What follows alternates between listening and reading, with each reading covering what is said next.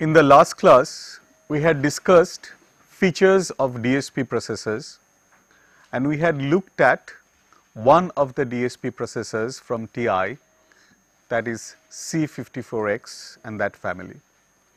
Today, we shall look at some more DSP processors and their architectures. The first processor that we are looking at, it is again from TI and this is typically 55X architecture. This is a power efficient DSP processor which is really targeted for personal and portable applications like your cellular phone. And here the basic difference with the earlier architecture is uh, to improve the efficiency with parallelism in instruction execution. And another feature is automatic power management mode which is in much more elaborate fashion than what we had found earlier. Architecturally you will find here that uh, the MAC unit is now there are now two MAC units. That is it has been duplicated. And uh, it has got the same 40 bit ALU, but additionally there is a 16 bit ALU for optimizing parallel operations. It supports 12 internal buses to perform up to 3 data reads and 2 data writes in a single cycle. And you can understand these uh, architectural modification has been done to increase data throughput and consequently the output that is the uh, the result that is being generated, the rate at which the result can be generated that also can be increased.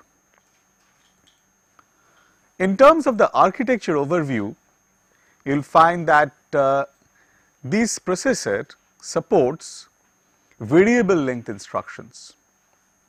The advantage is that you can have better code density. It uses software stack and not an hardware stack so that you can do a 32 bit push and pop. The CPU, the basic core processing unit is divided into 4 subunits, instruction buffer unit, program flow unit, address data flow unit and data computation unit. These units facilitates multi-stage pipeline implementation which again increases throughput. This is the basic diagram of the CPU core. We have not shown the basic components, but primarily the computational elements here. So, you will find that it, it has got two 17 cross 17 MAC units that is multiplier, adder as well as rounding and saturation hardware. It has got a 40 bit compare and select unit. Then it has got 4 accumulators. So, obviously, I can accumulate more results. Also, we have got a barrel shifter. It is a 40 bit barrel shifter.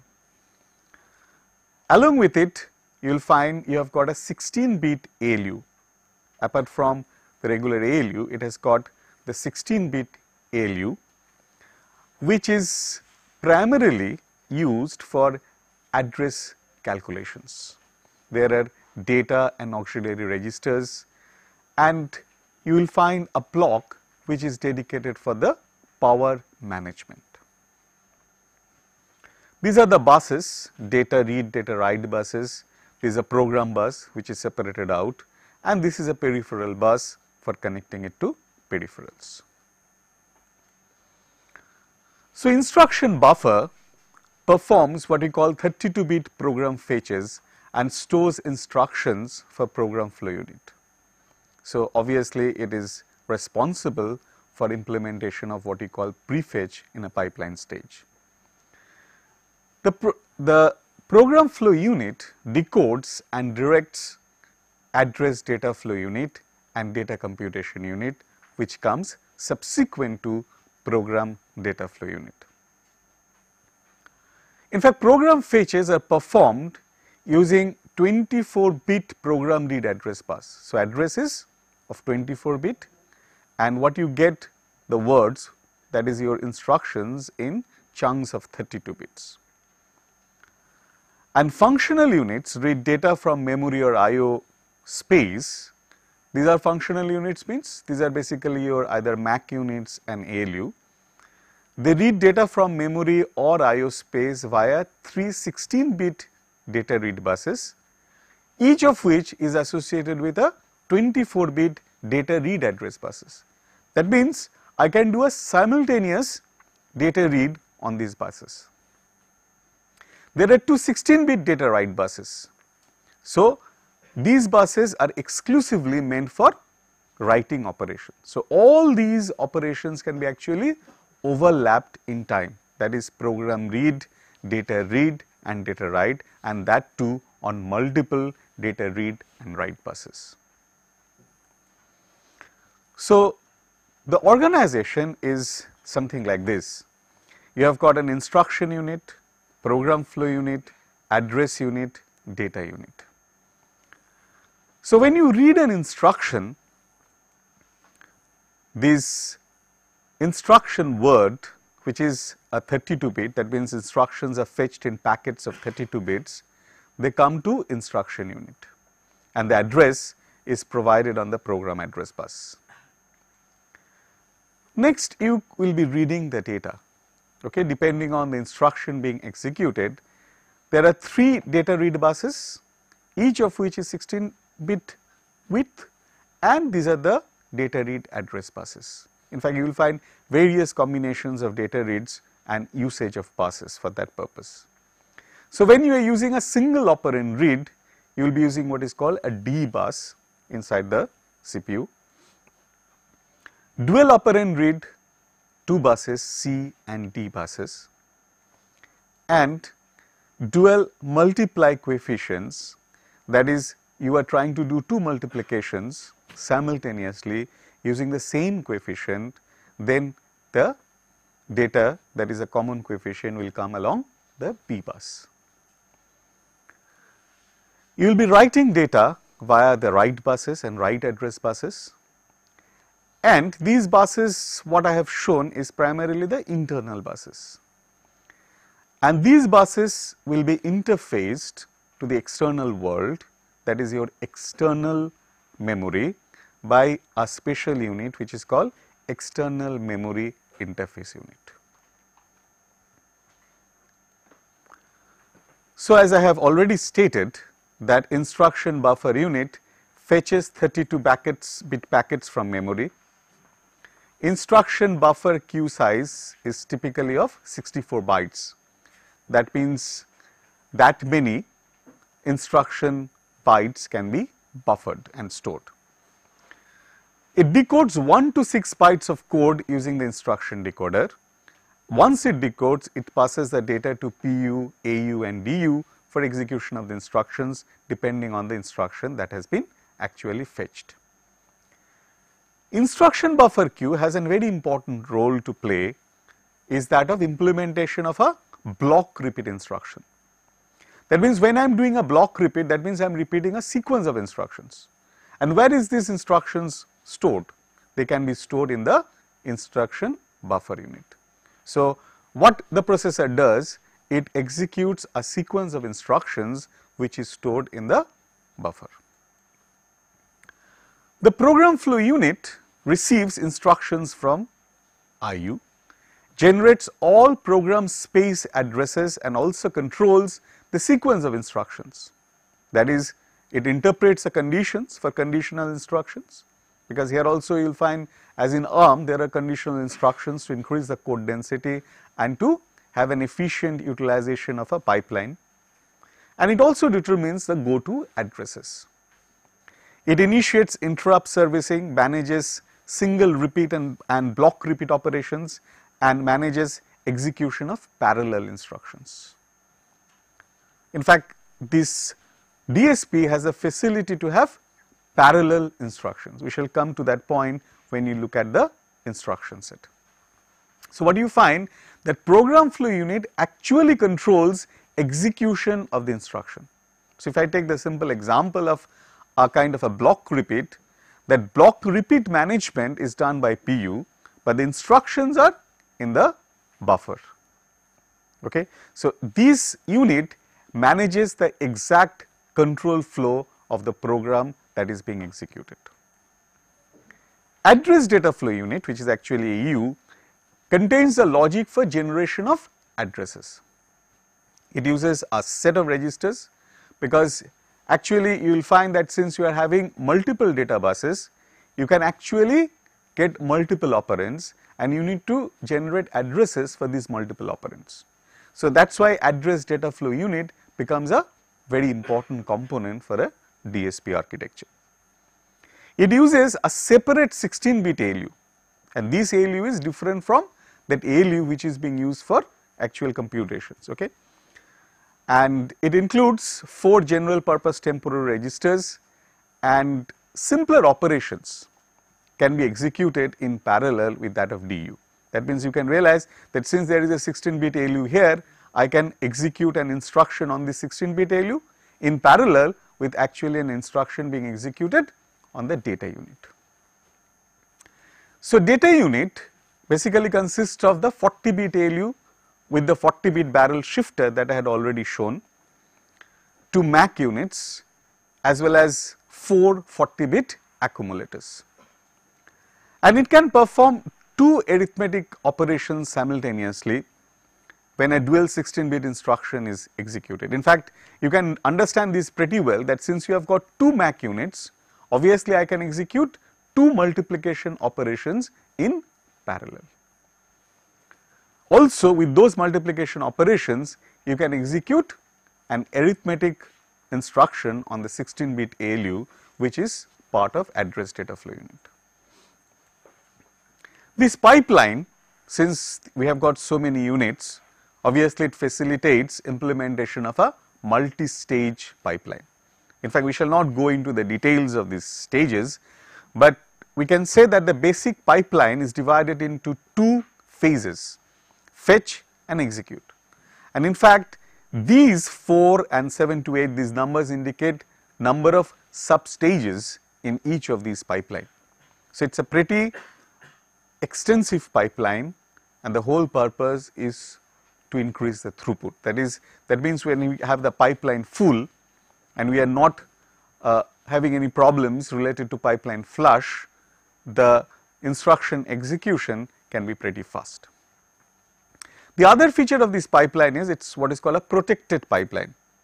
It introduces inactive cycles between instructions that would cause conflicts like reading and writing from the same location out of the intended order.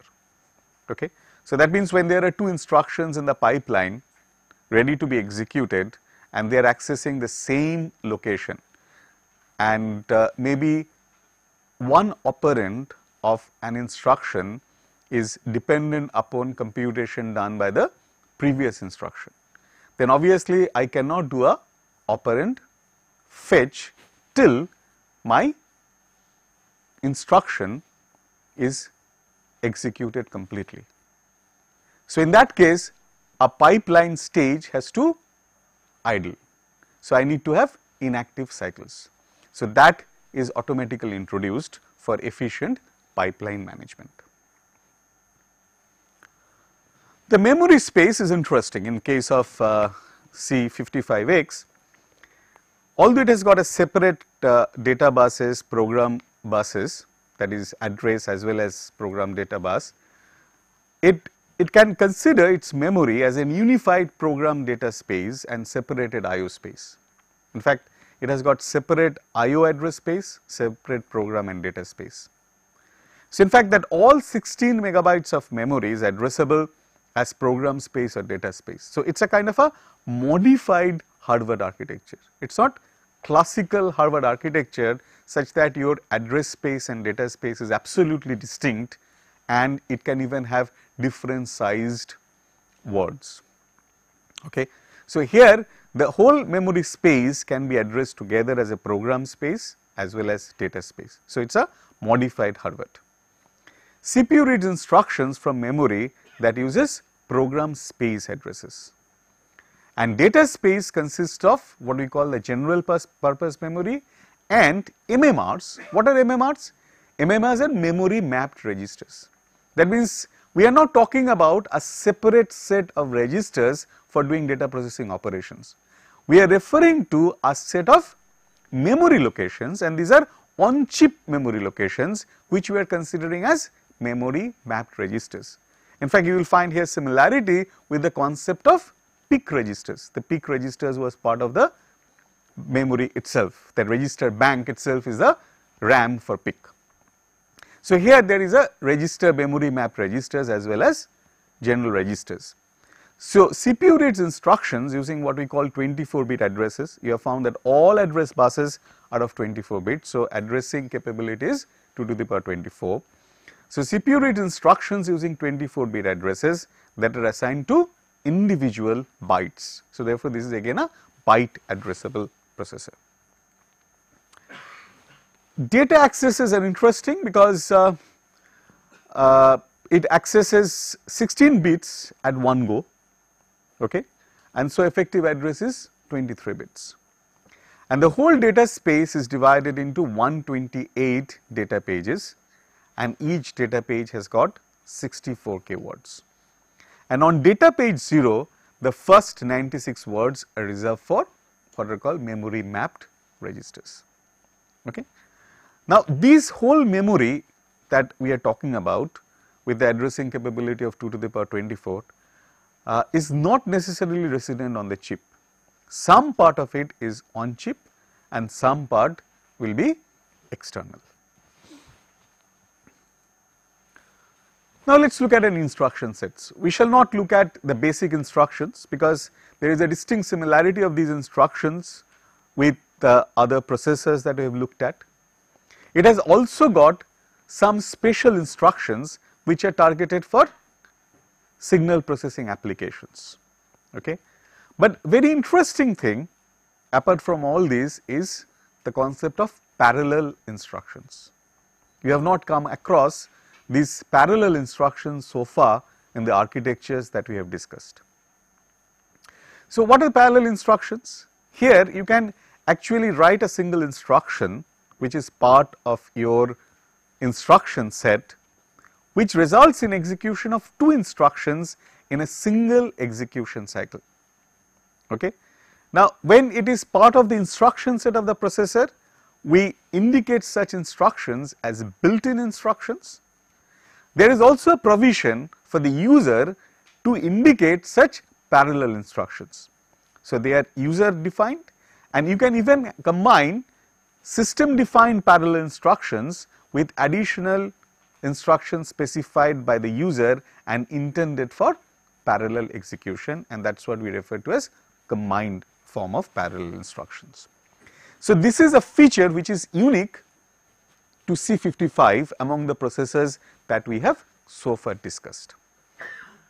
Obviously, you can understand the whole motivation is to make use of additional hardware, increase the rate at which your data stream can be processed, input data stream can be processed. In the addressing mode, we are looking at in particular the addressing mode which is used for these parallel instructions. In fact, uh, it uses indirect addressing. In fact, the registers which are available for address purpose, they are ad address store purpose, they are used in many cases for these address generations. So, you have got indirect addressing where uh, and this AR indirect addressing is typically used when you are accessing two memory words. These two memory words will be required for general instructions as well as when you are executing two instructions in parallel because if you are having the operands, operands are in memory, so you need to access these operands, two operands for two instructions. So you use typically an indirect addressing mode and this indirect addressing mode is dual indirect addressing modes. There is other general addressing modes are also available with this processor which are common uh, commonly available, but this dual indirect addressing mode is a is another distinctive feature of this processor. Other interesting thing is coefficient indirect addressing mode. Here this instruction is actually part of the instruction set of the C55. you can understand this is a dual multiply instruction and this is a symbol in the instruct in the assembly language of C55 which indicates a built-in parallel instruction. Here this data that is X memory is actually being multiplied by a coefficient which is stored in this CMEM and the result is going to accumulator X. This is again being multiplied and the result is going to accumulator Y. So, two multiplications to be performed in parallel okay and this operand you will find this one is common to both the multiplications. So, you can realize the utility of having 3 buses. Since you have got 3 buses and this one this data is common between the two operations. So, using the 3 buses I can actually execute 2 multiplications in parallel. So, typically the instruction examples are something like this. Here what we are doing? We are actually referring to this is star is a standard pointer convention. This is again a convention which used in the assembly language of C55. We are pointing to memory locations, okay. And you can find out that these are through this register I am pointing to memory locations, two distinct memory locations and this is a common memory location which has got the coefficient value. So, if you consider the same coefficient value being used for two multiplications x and y, I can use that and do two multiplications in parallel and exploiting dual MAC. The user can also define these parallel instructions. If you look here, this is an example where user has indicated an XOR operation and this is a 16 bit operation okay? And uh, and these instructions the first instruction is executed by the data unit and second instruction is in AU which has got the 16 bit ALU okay? Now therefore you will find that user has got now flexibility of specifying parallel instructions that is multiple instructions being executed in parallel Obviously, these instructions if they are to be executed in parallel certain rules and conditions have to be satisfied. One condition is that that uh, the parallel instruction does not exceed 6 bytes. Why this 6 byte restriction is coming in? From the instruction buffer because it, it actually provides a 6 bytes and decodes it. So, both instructions should be decoded at the same time and decodable in the instruction unit so that you know that they can be executed in parallel. Further, there should not be any hardware resource conflict. If there is a hardware resource conflict, then obviously two instructions cannot be executed in parallel.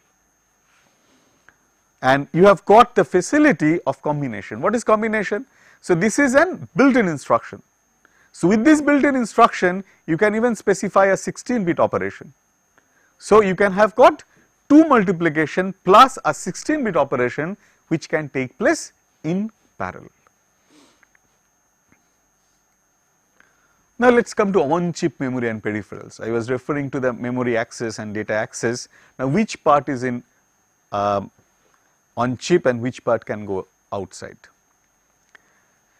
In fact on chip memory you will find this is 32k ROM which is typically expected to be your program memory you have got 256k single access memory and 64k dual access memory. Okay. So, these dual access and single access are required because you are doing what? You may do a simultaneous read and write onto the memory. So, in that case the dual access is important.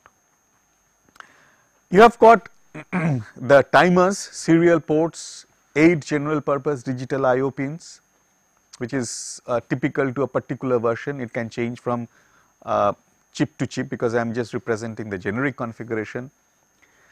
And interesting thing is it has got an enhanced 16 bit enhanced port interface. It has got EMIF.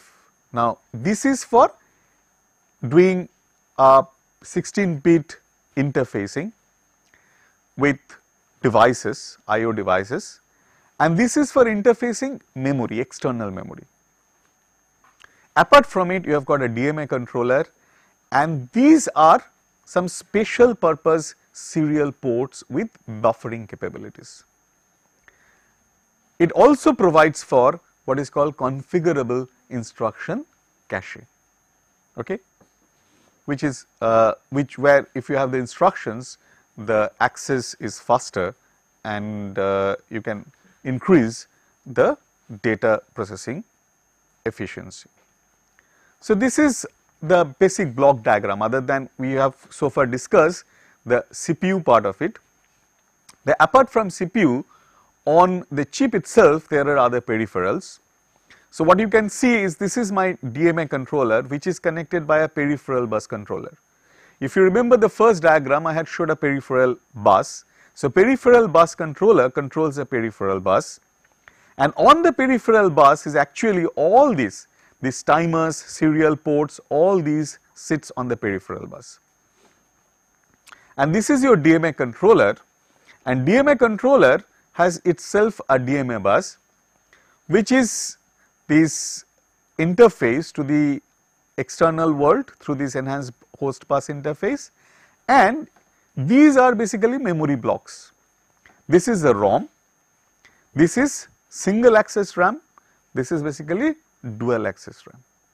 And through this external memory interfaces interface block, you can connect to external memory.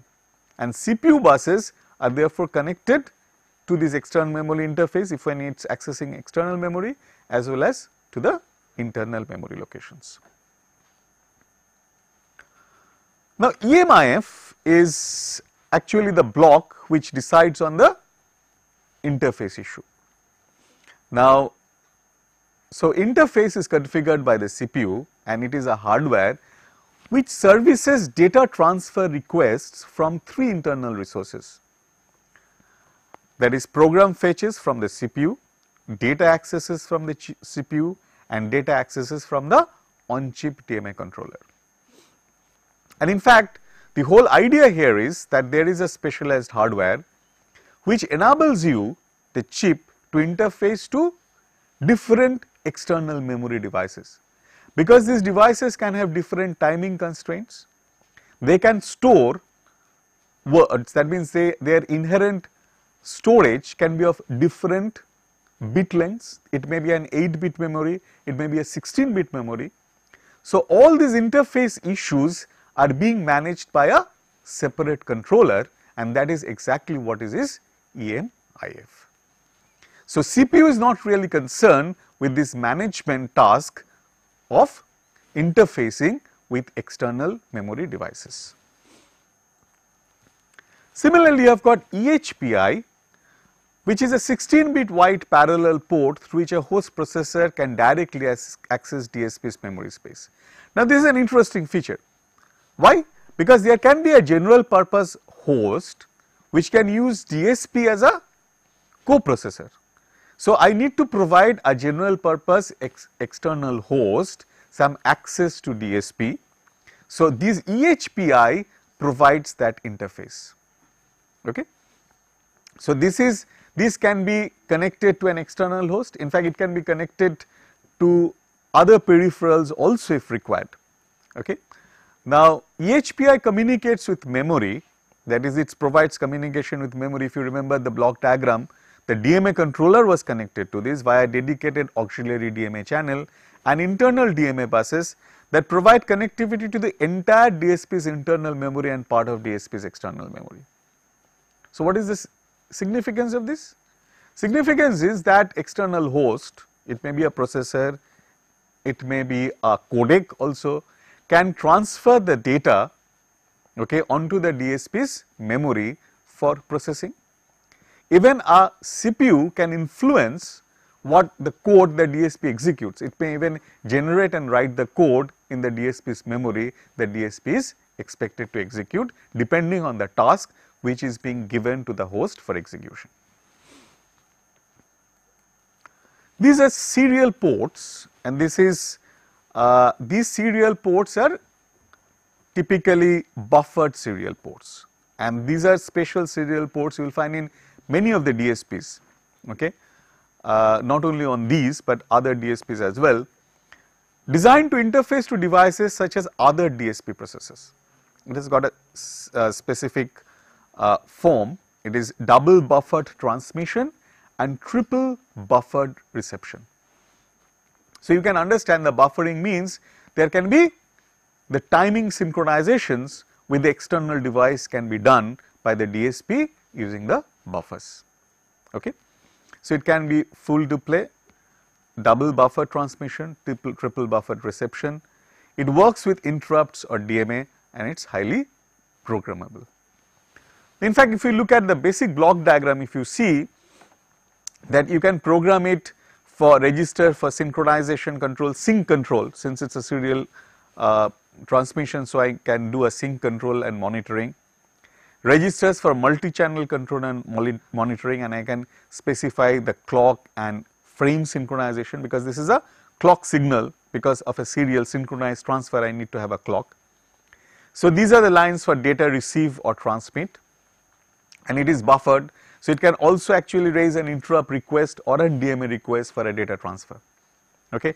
So, this provides you with a serial interface with external devices which can be even another DSP.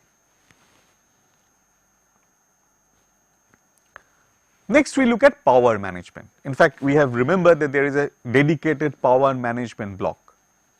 Now, how does really the power management uh, comes into play? You have found that C55 has got various functional blocks. It is not that for all tasks all functional blocks are required. So, what we what has been done is uh, the designers have got 6 software programmable power domains on the processor. They are CPU, DMA, peripheral clock generator, instruction cache, external memory interface. And each domain can be put to low power idle mode when its capabilities are not required. Okay, and this is completely user under user control that is software control. User even define idle domains. So, with these idle domains it, it can put some parts in idle mode and reduce the power consumption depending on whether the task requires these uh, features or interfaces or not. Take for example, when I know in my software I shall not be accessing the external memory, I can definitely put external memory interface in idle state and save power. So, I, I, if you remember I started with saying that C55 is targeted for a power efficient DSP architecture and this is one of the manifestations of these that facility to define idle domains and can put the different on chip blocks to idle mode under software control. Now, if we compare C54 with 55, what we have found is enhancement in the architecture primarily to increase the rate at which data can be processed. But still this is a fixed point architecture and a very distinct thing that you have observed here is ability to execute multiple instructions in parallel because of the additional hardware. Now, we shall look into some variants of this DSP architecture where this feature has been explored in full. We have already come across SIMD instructions Okay. Now, SIMD instructions are basically meant for multimedia data types. In fact, the example that I had started with say an image sensor and from each side I can get a 8 bit data. And if I am doing any kind of image processing operation, I shall be operating on each and every pixel. So, I shall be operating on 256 on 256 cross 256 pixels. If my image size is 0 to 255 okay by uh, 0 to 255 that means a squared image. So, if that many operations are to be performed and these are same operations and repeated operations.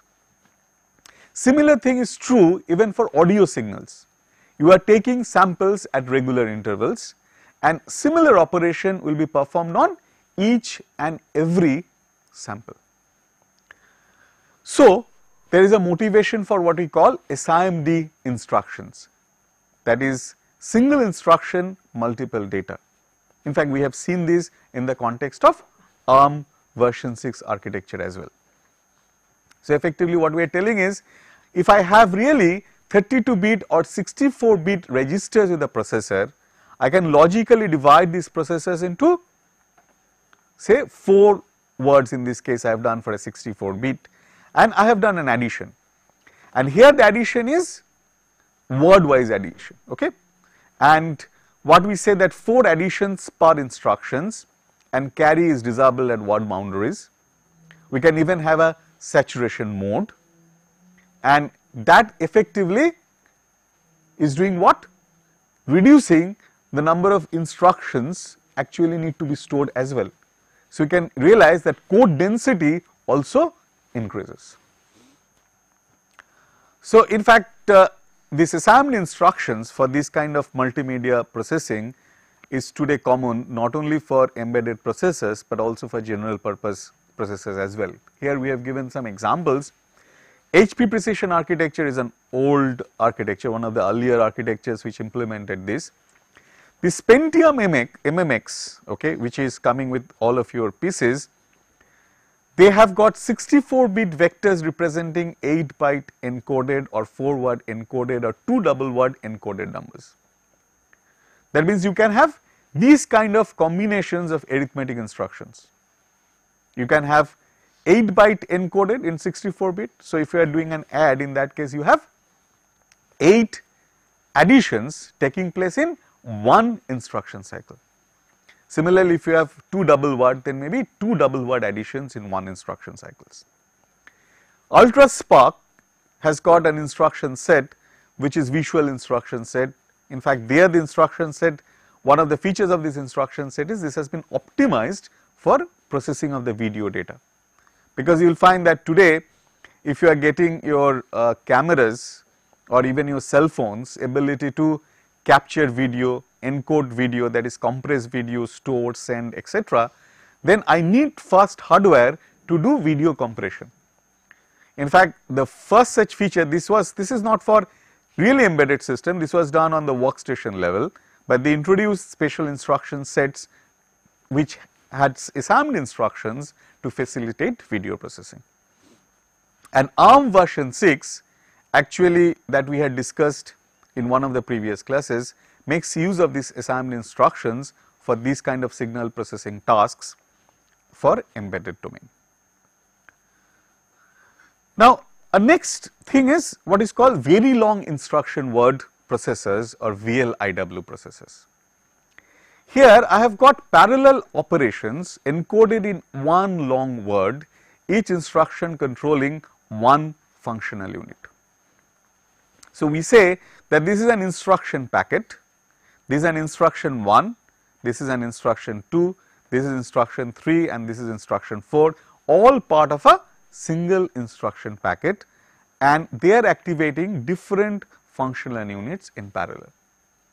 And in fact, this is exactly the extension or enhancement of that feature that we have found in C55. Okay? But in C55 it was not an explicit VLIW instructions, but when we have a VLIW processors explicitly with the multiple units, I can have these kind of long instruction words in which multiple instructions can be specified for execution in parallel. So, in this case what happens? If we consider this, then we need a large register file which would feed multiple function units. Okay. So, if we take an example, let us say I have got these instructions, okay, a very large instruction word architecture. In this case, an instruction packet will have opcodes for say addition, register additions, subtractions, a load, a store, a NOP. The interesting feature is you obviously have seen here just like I was talking about parallel instructions, there should not be any hardware resource conflict. That means the registers that we are using are different. Therefore, these instructions which are to be executed, they should feed into the ALU the data from the corresponding register file. So, effectively this instruction and the data from these registers would go into here and the result should be stored back. Similarly true for subtraction and interestingly here I have shown even other than ALU or arithmetic units I have got load store units. These load store units taking care of load and store requirements. Now, register the other option the organizational option for VLIW architecture is that instead of having a single register file feeding into all the functional units, you can have register file and function units divided into what are called clusters.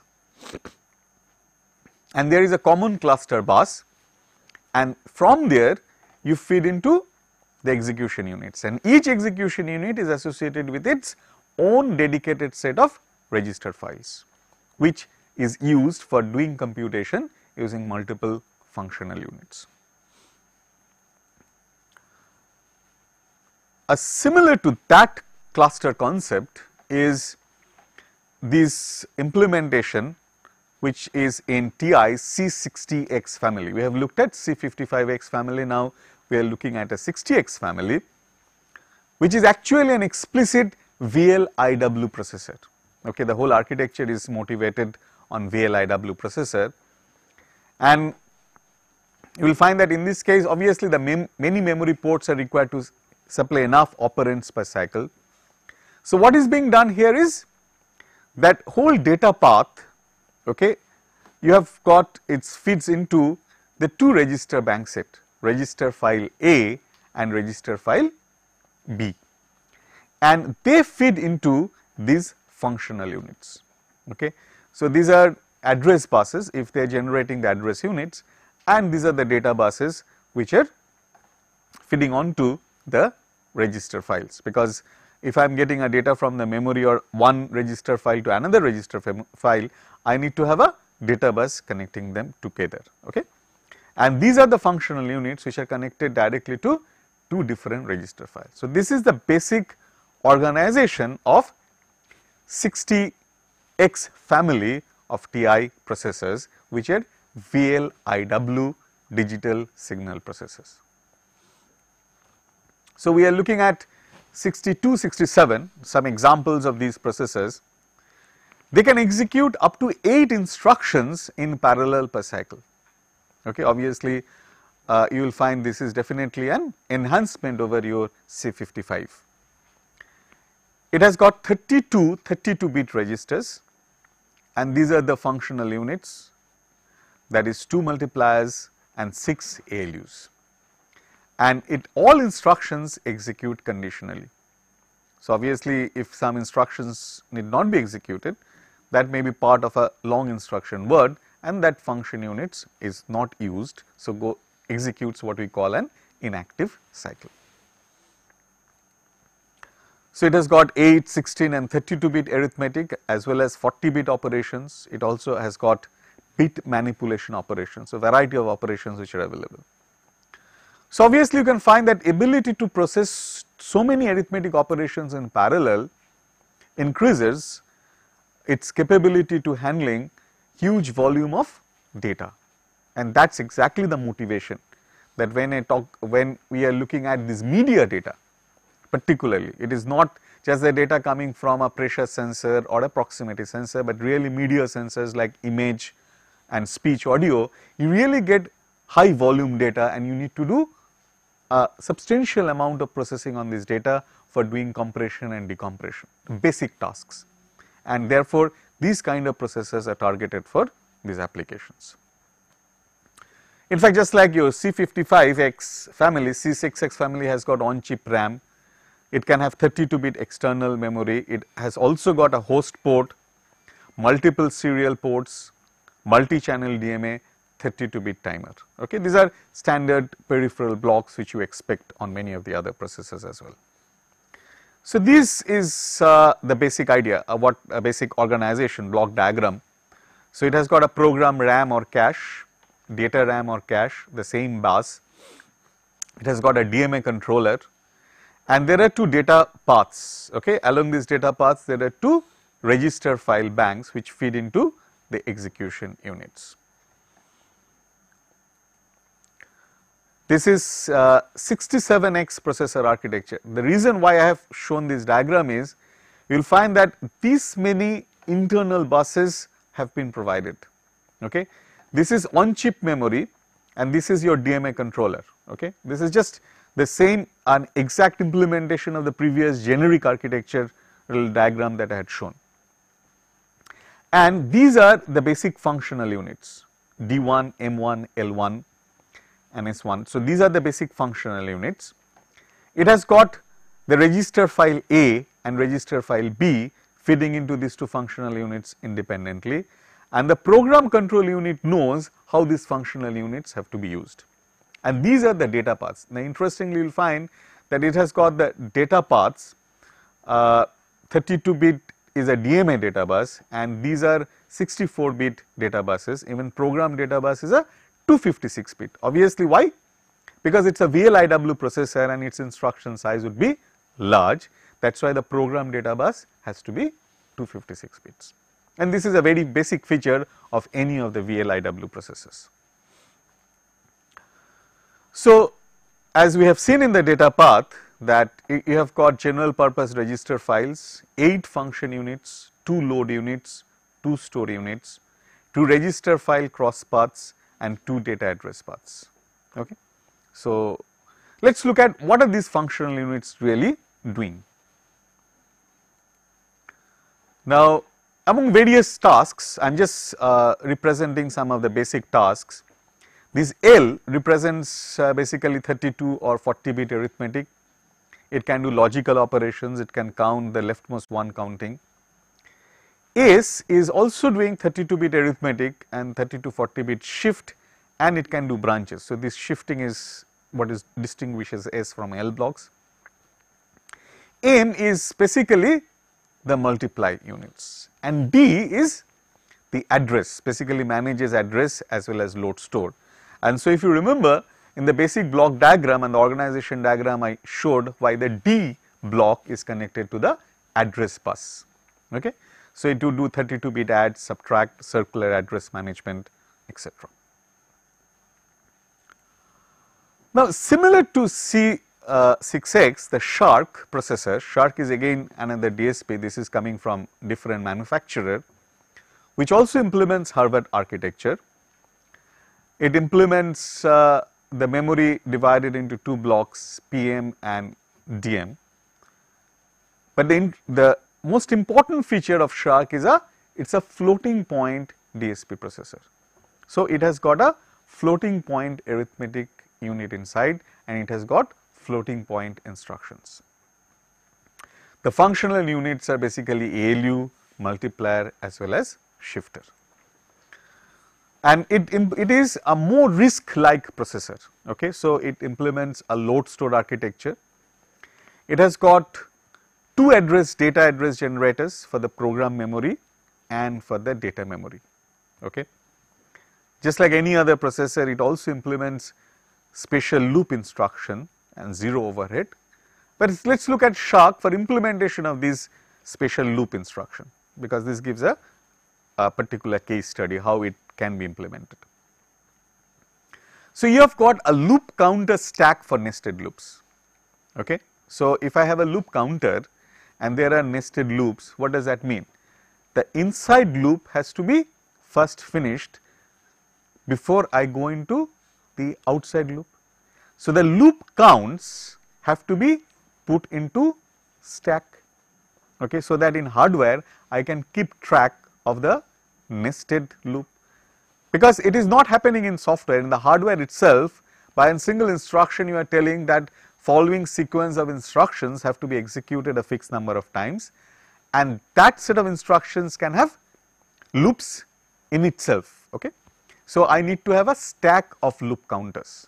So, this is a hardware stack which is made available for implementation of nested loops. Also, it has got a PC stack. In fact, we talked about the TI uh, 55 where we where we said it is a software stack implemented in the memory, but SHARC has got a PC stack. It is 30 deep for storing subroutine return as well as loop addresses. I hope you understand why loop addresses. The beginning of the loop where we come back to the loop that has to be stored in the form of a stack in the PC. So, this gives a particular implementation scheme in a DSP for loop, zero overhead loop as well as the subroutine call. And this is, uh, this is what I wanted to discuss distinctly for SHARC. SHARC is a VLIW processor and it implements a number of instructions in parallel. And here you can have various combinations, you can have fixed point as well as floating point combinations. Obviously, you can realize the internal hardware for SHARC could be more complex because it is supporting floating point operations. And as I have already discussed earlier that floating point operation implies what? Additional power consumption as well. There is another processor which we like to look at is Philips TM because this is a processor uh, which has been used widely for multimedia processing and this is again a VLIW processor, but there are some distinct features for it. It supports floating point uh, operations just like your SHARC and it also has some more customized operations for this media processing task. In fact, it is a much more elaborate in terms of hardware architectures uh, and it is particularly intended for media processing. So, if you look at the architecture you will find this is I have got a VLIW CPU, but along with VLIW CPU there are specific coprocessors. In fact, this is also a trend for various uh, dedicated DSPs which are getting designed. So, this coprocessor is particularly for image processing and this is also for various VLD coprocessor. Uh, this is also variable length coding applications like say Huffman coding application. This can be used for implementation of Huffman coding and it has got specific peripheral blocks for enabling video in, video out, audio in and audio out. And apart from the expected memory interface which is common with other DSPs as well. So, this is an example of a TriMedia, this is the Philips media processor that when we are designing a DSP for a particular task, your choice of interfacing blocks can become different.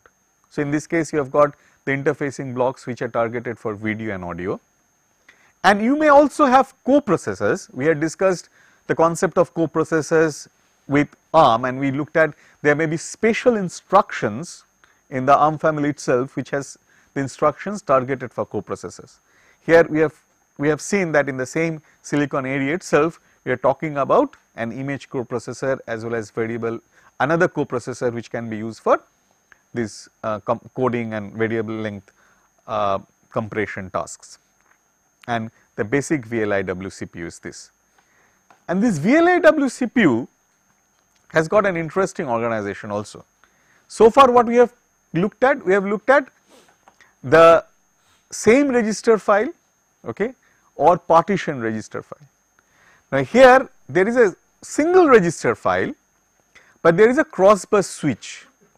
Just like any kind of a communication system, we have a crossbar switch for connecting these functional units to registers, there is a switch here. Depending on the instruction, the switch gets programmed. So, effectively I can establish a path from a particular register to a particular functional unit and you will find that the number of functional units here it is of the order of 27.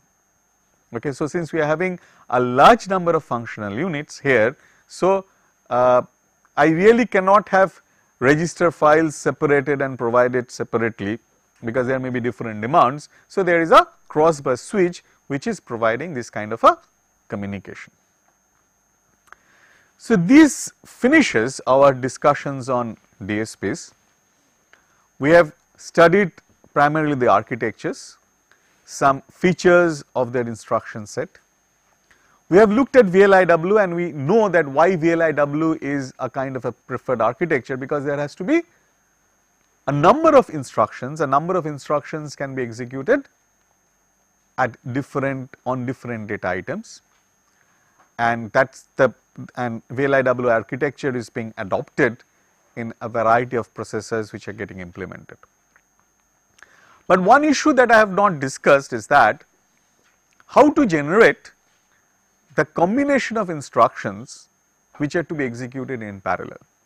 If I take a simple example of C55, if you are doing an assembly language programming, you may put instructions in parallel explicitly and then check whether there is any kind of a resource conflict after assembling and running on it on a simulator, but that becomes a complex manual pro process. So, today's compilers which are targeted for these processors, hmm. they are provided with some of the spatial logic to detect these parallel possibilities. That is from your code itself whether these parallel possibilities can be extracted and accordingly whether the low level machine instructions can be assembled together to exploit the available hardware to the maximum possible extent. In fact, there are also responsibilities which come to the programmer as well, so that compilers can easily detect these features and generate efficient code. In the next class, we shall look at what we call system on chips, where a processor core and a DSP may sit on the same silicon area itself for a dedicated task. There may be other combinations as well because the system on chips are becoming very important for embedded systems because if you get one such system on chip, all the functions can be mapped onto it and the complete system may be built around it. Any questions?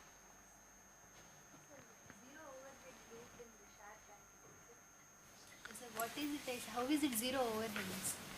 Okay, the question is uh, how is it that we are having a zero overhead loop in SHARC architecture? See the basic idea of a zero overhead is that when you are executing a loop in the software you actually check that whether you are the number of times. Let us consider that I want to execute these uh, following three instructions 5 times. So, I shall have a counter stored in some register, I shall decrement the counter using a specific instruction and check whether it has become 0 or not to terminate that loop. So, there is an instruction overhead, these are overhead instruction for implementation of the loop. But if that entire thing can be built into the hardware, that means I say that following set of instructions to be executed 5 times. So, every time instruction gets executed, this decrement takes place and the check takes place in the same instruction cycle itself. So, effectively you are not having any instruction cycle overhead for implementation of the loop.